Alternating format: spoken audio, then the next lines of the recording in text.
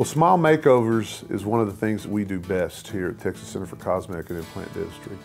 Uh, it can take all various forms from something very simple like bleaching or whitening your teeth to doing a full mouth reconstruction with veneers and crowns.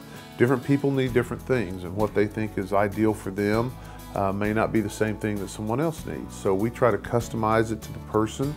A lot of people have teeth that are real broken down, real worn, uh, old fillings, cracked, and they need every tooth done.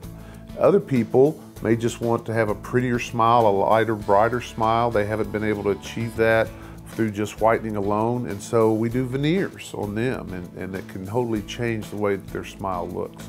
So it's, uh, it's something that I enjoy doing because it changes people's lives when we do it. We just don't make them function well, but we make them beautiful. We make them something that they can be proud of.